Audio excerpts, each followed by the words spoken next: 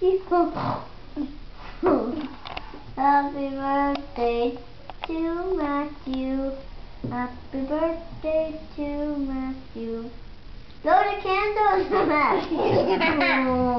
I don't see. I'm silly.